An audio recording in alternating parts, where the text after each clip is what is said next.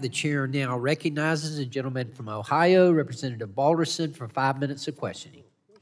Thank you, Mr. Chairman. Uh, Administrator, thank you for being here today. Um, Administrator, uh, the EPA has claimed it addressed the reliability concerns posed by its recently finalized Section 111 power plant rule, the so-called Clean Power Plan 2.0, by including minor tweaks such as allowing a one-year compliance deadline extension subject to EPA's approval. But utilities need to start making resource decisions today and can't bank on the so-called flexibilities. And if a plant is shut down because of this rule, it can't just be turned back on in an emergency situation. The fact is, the- power plant rule will threaten grid reliability. Just last week, the largest grid operator in the nation, PJM Interconnection, which covers the state of Ohio and the Ohio's 12th congressional district, made it clear this rule threatens reliability.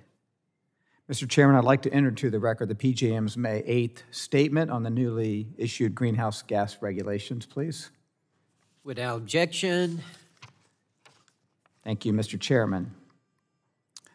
Administrator, do you believe that you and the EPA are better experts on what is needed to maintain grid reliability than the actual grid operators?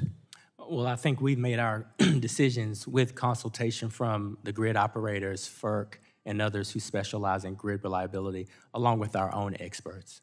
Is it in your opinion that PJM is wrong in their assessment of this rule will threaten the grid reliability?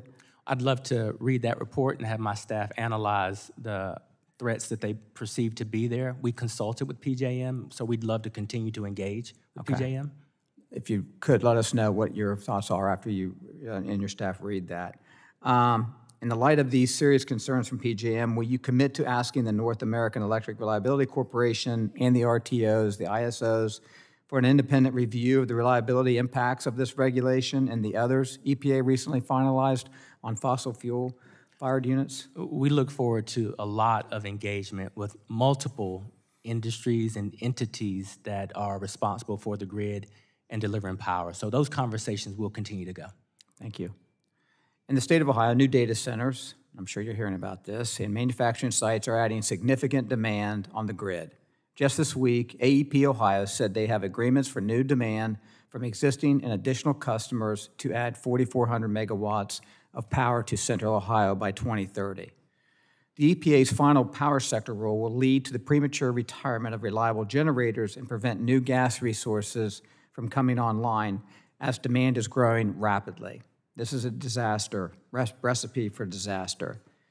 Two weeks ago, the Secretary of Energy repeatedly told the committee that EPA's new power sector rules for greenhouse gases no longer included standards for existing natural gas plants.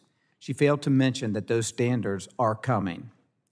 In the new power sector rules, EPA states it intends to issue a new, more comprehensive proposal regulating greenhouse gases from these existing sources.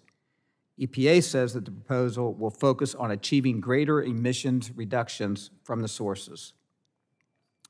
Will this future rule on existing natural gas fired plants be more strict than the Section 111 rule that EPA finalized last month? What, what the rule, the reason we have given more time is because industry, uh, the environmental community, justice community has asked us to. And so it will be more comprehensive, meaning the proposed rule only had the largest included. We're looking at a more comprehensive approach, but we're also looking at additional flexibilities and additional technologies that the industry asked for us to consider. So we're starting a more elongated process to be sure that we have a more comprehensive look and that comprehensiveness goes towards uh, coverage as well as technologies, best management practices, and the like. Okay, thank you. So the EPA has only received a few comments so far, and uh, given the impact of the rule covering existing gas plants uh, we have, will the EPA extend the deadline for comments? Uh, I will uh, circle with my staff about where we are with the process and the comments that are coming in and what we need to do to accommodate a full engagement from all of our stakeholders because we need that. Okay, thank you. Thank you, Administrator. I, I do appreciate you being here today, but I strongly disagree with your views on the EPA's latest rules covering fossil fuel fired plants. I believe it is important that this committee, as well as the House and Senate, continue to push back on the EPA's rules that will threaten reliability and lead to rolling blackouts, brownouts for our constituents. To that end, I will be introducing a CR, CRA resolution with Senator Capito uh, to disapprove of the Clean Power Plan 2.0. I urge my colleagues to support this effort and make it clear that we will not sit on the sidelines as the EPA wages war on the reliable baseload power that our constituents rely on. Thank you, Mr. Chairman. I yield back.